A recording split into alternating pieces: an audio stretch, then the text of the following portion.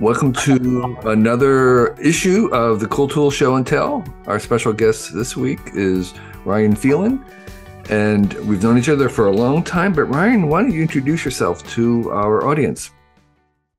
Well, thank you, Kevin. Uh, it's a treat to be a part of Cool Tools since I use so many of your cool tools and have forever. Um, Kevin, you and I go way back to the very beginning of when you, when my husband Stuart uh, Brand um, recruited you to work at the Whole Earth Catalog. Yeah. So um, I've watched you develop all your uh, incredible skill set and experience over all these years with great pleasure. Um, where I fit in with all this is I'm a serial entrepreneur. I've run several companies and nonprofits. and um, have collaborated with Kevin on a number of projects, including the All Species Foundation, trying to discover all life on Earth.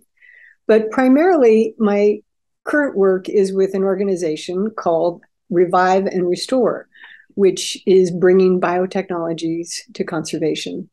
And um, actually, Stuart Brand and I co-founded this organization ten years ago, and um, and it's going great guns. And I can tell you about it later if time permits. Yeah, yeah, we'd love to hear about it. And I was just noticing that all species like painting behind you where um, it reminds me of our, our, work of trying to catalog all the species on the planet. And here are a bunch of them which i have don't know what they are but um, they look really cool.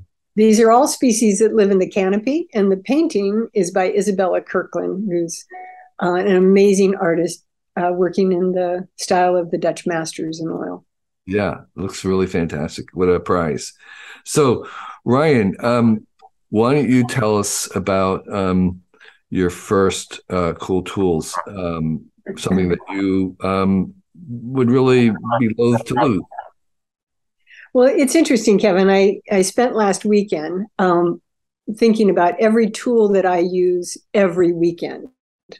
And I have to mention this that um, my husband Stuart and I live on a 65 foot tugboat most of the time.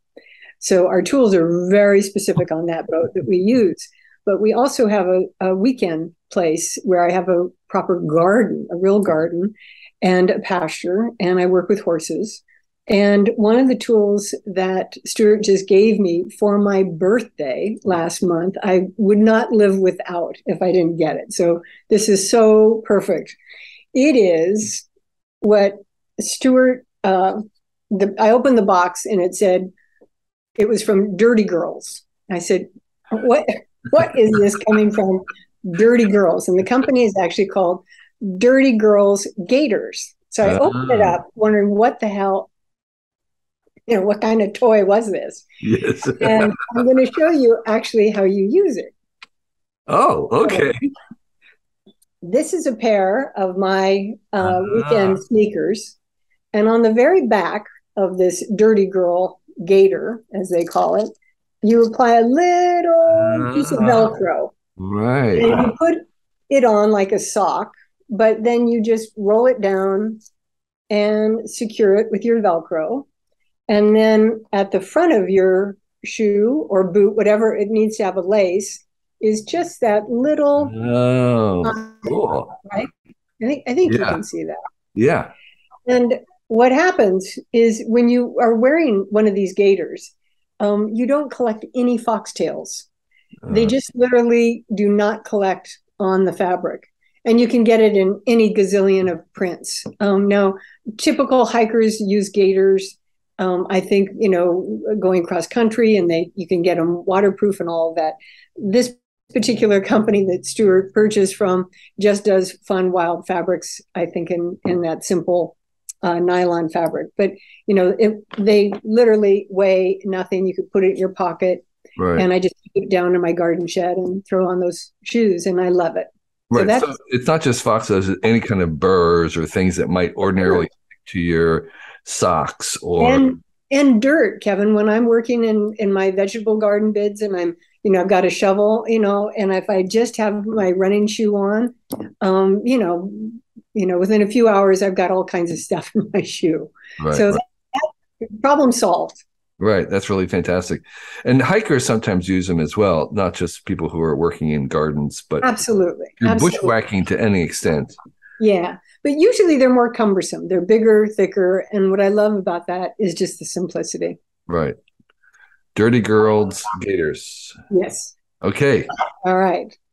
So, another product that I use every weekend because I'm lucky enough to have a lap pool is um, something called Oh. AfterShokz um, Swim Buds. And the reason these are really cool, and I don't know if you can tell that there, is that they work on bone conduction. So, Oh. you literally put them over your ear, Oh. in your ear. Wow. And the audio quality is actually better when you're underwater.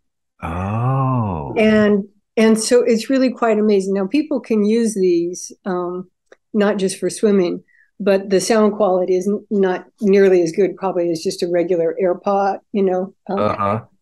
But um, what's cool about these is that when you go underwater, it's really beautiful.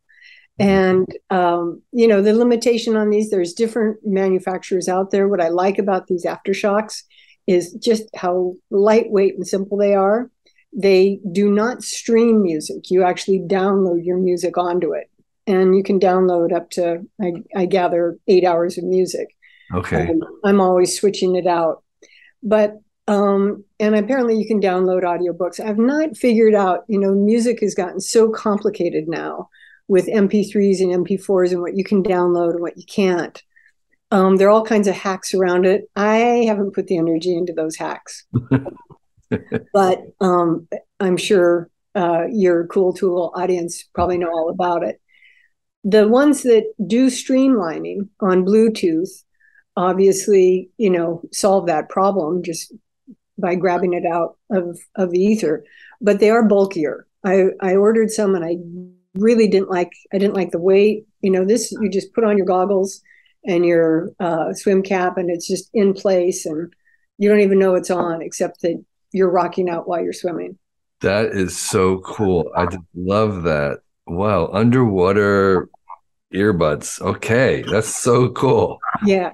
But you know, the other thing about bone conduction is um, what's wonderful is it doesn't tune out real sound. So if while I'm swimming, somebody wants to call me, you know, and not telephone, but you know, yell yells at me outside of the water, or I hear a plane go by, or I hear a bird call, I totally hear it. Okay. Um, and you know, I'm I'm always amazed when you see a cyclist on a busy street plugged in with their earbuds, being you know absolutely oblivious to the traffic going by. I wish they were using bone conduction because it would be totally aware of their environment at all times. Yeah, yeah, yeah. That's really cool. I, I wonder if you could hear well enough uh, on a bicycle to to make that worth. Absolutely, I believe it. it. You can, you know, sometimes I don't even remember I have it on, and I'm having a conversation with someone, and I'm, you know, punching it to lower it uh, just to hear them better. But I'm completely able to converse. Wow, wow. Um, but um, again, you know, everything's a trade off. And and uh, the the brand that you like again is called. Um, it's called AfterShokz, AfterShokz. with a okay. with spelt with a Z. All right. Shokz. Uh, AfterShokz. That's really great I'm sure you'll find a link. Okay.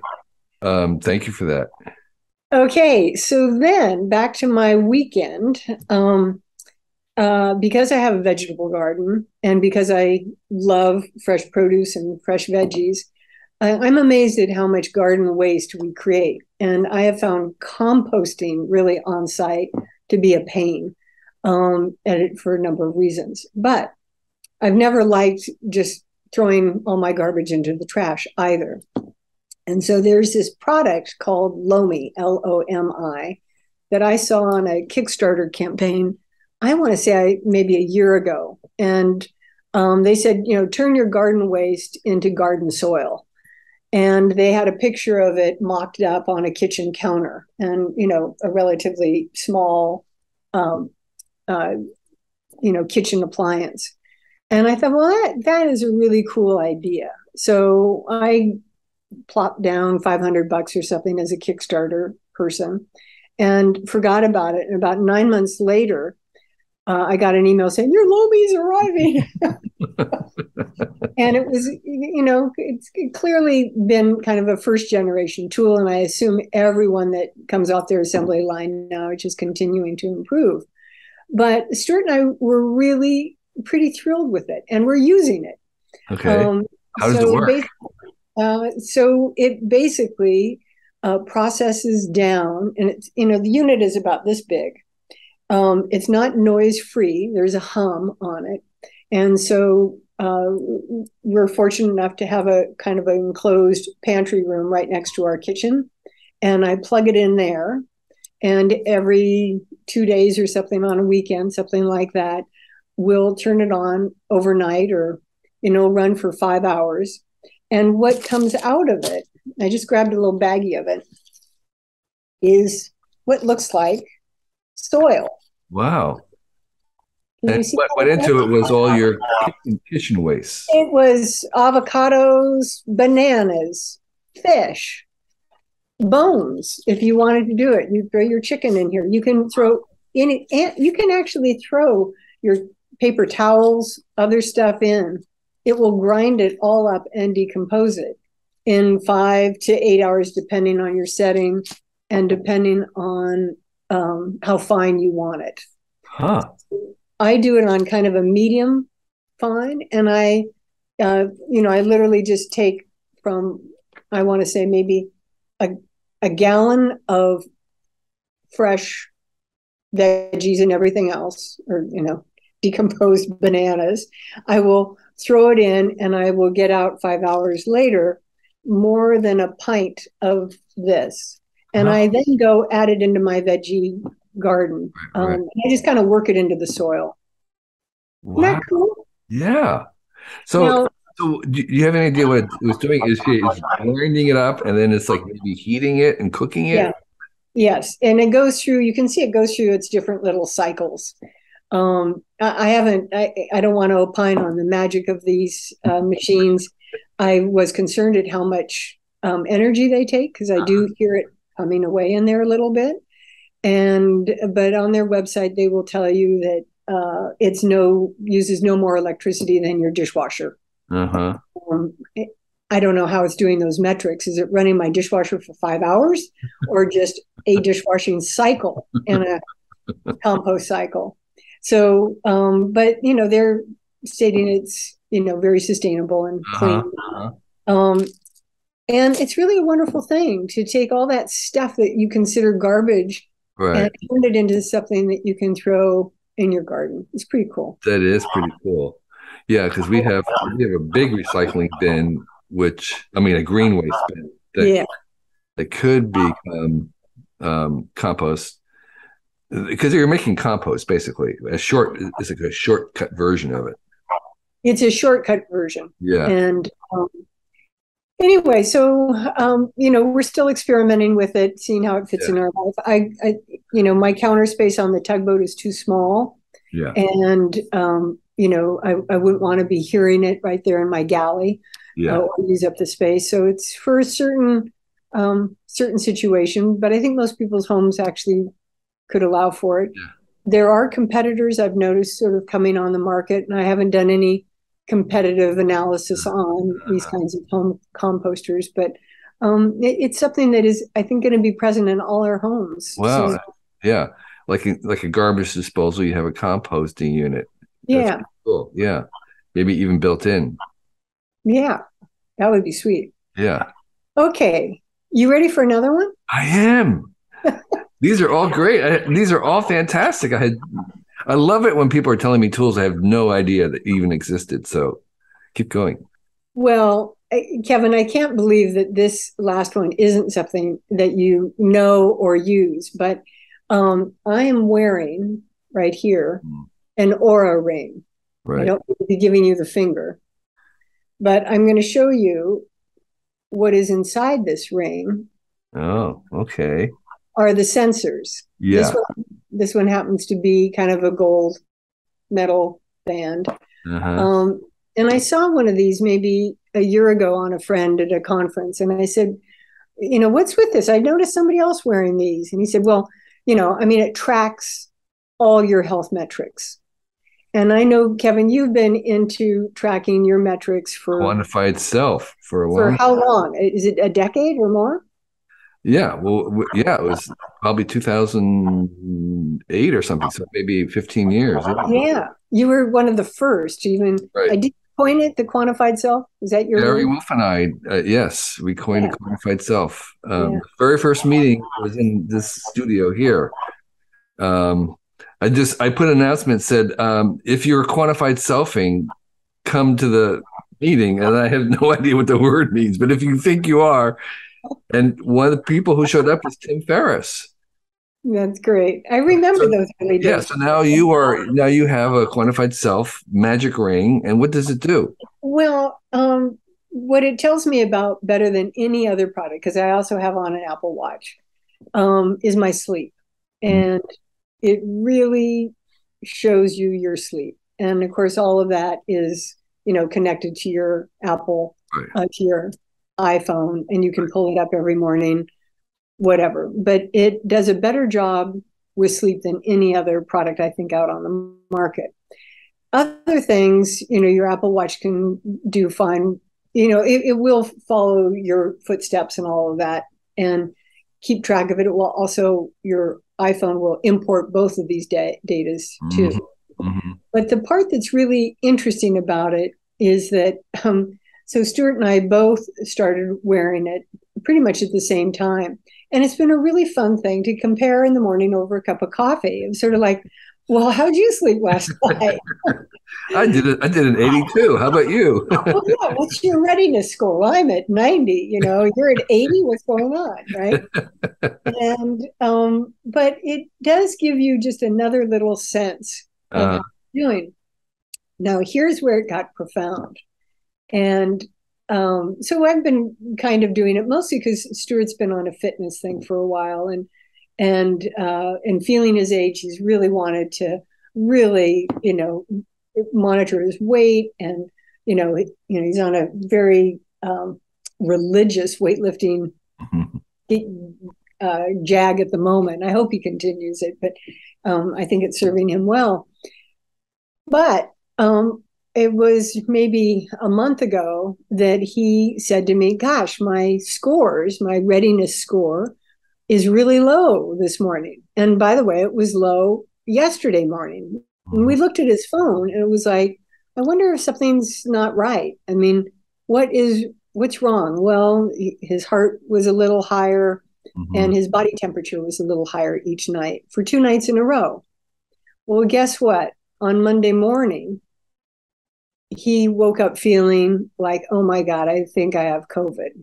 Mm. And he tested positive. This is just five weeks ago. And then he went back and looked at those scores, and they were completely different than anything Mm. um, that he'd had ever, you know, in the last year of using this product. So isn't that interesting that the body was already fighting an infection? It was already Mhm. showing some reaction to to the virus, the stress, way before he had a scratchy throat, way before he felt any lethargy. It was just sort of perplexing to him. Mhm. And um, so, you know, I think the sensitivity is there. Right. And So, I that now you would know, um, you would read it differently. Yeah, absolutely. I mean, it did not say COVID alert. You know, it's, it's not doing diagnostics. Yeah, yeah. Paying attention to these things. I mean, it was basically telling them, take it easy today. And Mhm. it said, take it easy today. I mean, it actually gives you those messages. Mm. And, um, you know, maybe you ate a really late meal or had, uh you know, alcohol too late in the evening that kept you awake. Your heart never really, um, heart rate never really lowered until just before you woke up. Well, that's not a restful sleep. Wow, wow. It's not a restorative sleep. Right, right, right. Um, that's really fantastic. Um, we had to get um, Dr. Alan Green, who was in the ring, to help him um, tweak his jet lag regimes Huh. because there's an app that will help you on stage before you leave. The Yeah. exposure to light, caffeine, rest, and stuff. And he could use the Oura ring to verify and test how his heart rate and stuff, how well that pre-adjustment for jet lag was working. Huh. That's a really cool ring. Yeah, yeah, and you know, it's got stuff for uh, uh, menstrual cycles and fertility. You know, all these things are being integrated. Um, tools that you imagined in your early quantified self days, I think, are becoming, uh, you know, uh, I don't know, Right. just better crafted and better designed and and more applicable. Do you have a recommendation? Are there different models of the of the ring, and um, are they all just Um, I think the, probably the only one you can buy is the latest upgrade, and I think that incorporates, um, you know, all the sleep uh, data that I was talking about, but also um, oxygen saturation level, which of Mhm. course is something during COVID that we've all begun to learn is such an early indicator of problems, right? Right. um, and so that's embedded in it. Um, but I, cool. it's just how it comes. That's really great. Well, thanks, Ryan. That's another fantastic tool. I had known about it, but I didn't know as much about it as what you just suggested. It seems like a a great step forward in you know your own taking responsibility for your own health. Really great. Which you have been involved in for a very, very long time, way before me. Um, but now you're on to, to something else. So do you want to tell us um, Sure, I'd be happy to. Yeah. Um, and you're you're right, Kevin. After spending three decades uh, working in healthcare, um, trying to help uh, consumers get better access to medical information, this was way before the internet and way before WebMD, which is the company that I sold my medical library to. Um, we were trying to help arm consumers to be able to be on a more equal footing with their doctors. And that was really radical. And that's really what this self care stuff is about. It's Mhm. like giving you insight you're not going to get from the doc, right? This is your own data. And, and in order to really think about your health, you've got to take responsibility. So um, I've been on that bent for a long time. And in fact, it took me into my next uh, business, which was called DNA Direct, working in personal genomics, trying to provide uh, consumers with access to clinical medical genetic testing which was And- before 23andMe. way before 23andMe Right. and before, um, really before breast cancer testing for women. Um, you know, with, with using genomics was readily available, other than through very specialty breast cancer clinics. And of course, now it's ubiquitous for any woman who's got a, a, a potential diagnosis of breast cancer that, that you do that kind of screening. But anyway, when I sold that company, which was called DNA Direct, um, I really wanted to leverage my passion and interest in genomic technology. And um, I wanted to do it in a new field, and I wanted to do it in conservation. And uh, and that's what we've been doing for the last 10 years. And so you won't be surprised to know that part of what we look at is genomics and wildlife disease, right? Because when you think about health, whether it's human health or species health, you also have to deal with disease. And um, and so we're working uh, with America's most endangered mammal, which is the black-footed ferret. Um, we've just cloned one cell line that has unique genetic variation. We're going to do more of that work, but we're also looking at how to help black-footed ferrets cope with sylvatic plague, and um, they you know, succumb to plague uh, every other year, depending on the seasonality of, of the spikes in sylvatic plague on the American prairie. It's an invasive pathogen, shouldn't be here, but it has been um, all across the American prairie since I think the 50s. And so we're looking at that. We're looking at uh, disease uh, with uh, with bats. We've got um, Revive and Restore runs a program that we call the Catalyst Science Fund. And we now have raised just about I want to say 15 million for the Catalyst Science Fund to advance research in all these different areas where conservation is stymied by what they call an intractable problem, you know, chytrid disease or, or plague or the loss of genetic diversity. We're, we're using this fund to say, well, let's advance research in this particular area that might become a solution.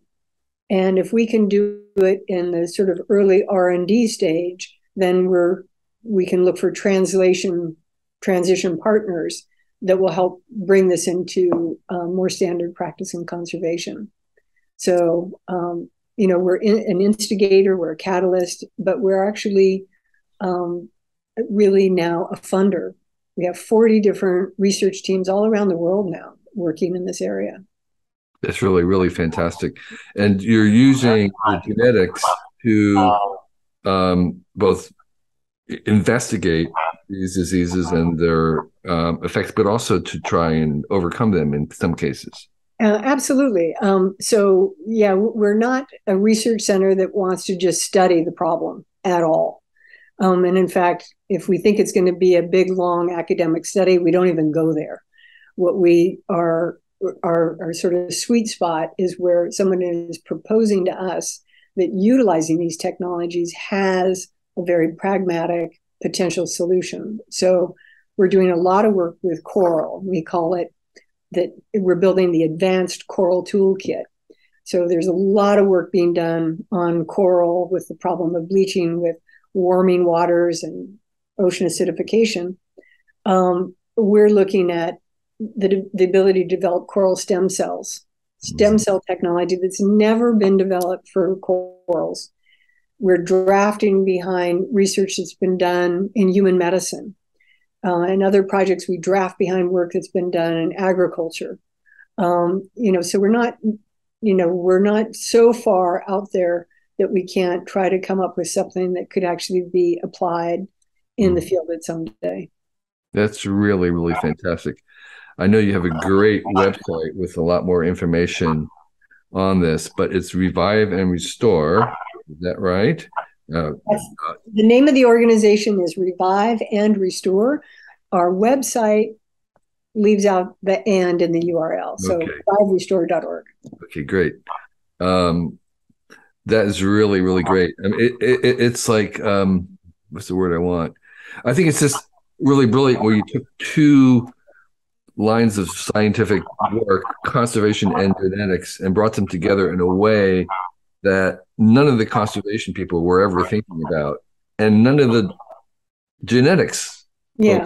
thinking about. That well, kind of white space between the two is it is and and and it's really these interdisciplinary teams kevin that has has made it work so very often when we want to tackle a problem we actually do a workshop we used to do it in person but you know last few years by zoom we'll bring in you know, George Church, leading genome engineer, and we'll match him up with uh, the scientists working on herpes virus in elephants. And we'll match that up with the conservationists on the ground in Africa. And we really think through the whole context of the problem, which is that herpes causes infant mortality in elephants like nothing else. Mm. And so you you take a problem that no one has known really what to do and you bring the team members together and they start actually you know creating a roadmap for a solution. And then we try to scare up the money for it to fund these things. And um, and that's always a challenging part but you know so far we've got a really good track record and um, and we're finding that these camps want to work together. You know there are conservationists who really do want to use these tools. Right and we don't want to see it as an outlier. Ultimately, we just think the conservation toolbox needs to get bigger. Yeah, yeah. That's really fantastic. Well, you're, you're really good at building bridges, as always. So, um, this is a great place to have you give your tremendous energy and intelligence. I'm really glad you're there. And thank you for sharing your cool tools with us today. Well, I'm I'm very happy to, and of course, I wouldn't get to do what I'm doing if there weren't really cool people to work with, and and, and you are one of the coolest. So thank you. We're glad that you enjoyed this issue of the Cool Tools Show and Tell. Just want to remind you that we have some other coolish material on our YouTube channel here. Please subscribe, comment, like. In addition, um, this Cool Tools Show and Tell is also available in an Audible podcast form. You can subscribe to it wherever you subscribe to other podcasts if you just wanted to listen. And if you're listening, know that there is a visual version of this on our YouTube channel where we're actually showing the tools and um, there's a little bit more of a visual component there. In addition, the same folks that put us, uh, the Cool Tools website out, we also put out a free newsletter every week. It's very, very short. It's one page or less. We recommend six very brief items um, that are very succinct, easy to read. You can deal with it in a couple minutes. And every week we bring to you the six cool things that we have uncovered and want to share. And it's called Recomendo with one M, recomendo.com. You'll be able to find it there. It's free. Join 50,000 plus other subscribers every Sunday morning. You'll get it in your email box. And it's actually one of the most popular things that we produce. But we do produce other newsletters as well. One of them is called What's in Your Bag. We have one that goes out to um, tools and tips for your workshop. So you can get those at our website, um, and they are also free. And finally, um, I want to mention the fact that um, we do have a Patreon, and um, this uh, podcast and this vidcast are supported by Patreon supporters. The minimum is a dollar a month.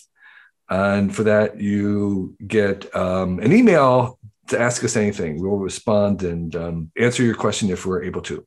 There are other higher levels. You can all see those at our Patreon page. And all those links are below right here. So thank you again for being a fan. And um, we'll keep producing stuff if you enjoy it. Thanks. Thank you all to this week's patrons, who include Jay Walker, Nikolai Teleguine, Charles Cowens, David Sue, Jack Unverfirth, Michael, Lawrence Lazare, David Abel, Edward Grobe, and Just Dosberg. Thank you all.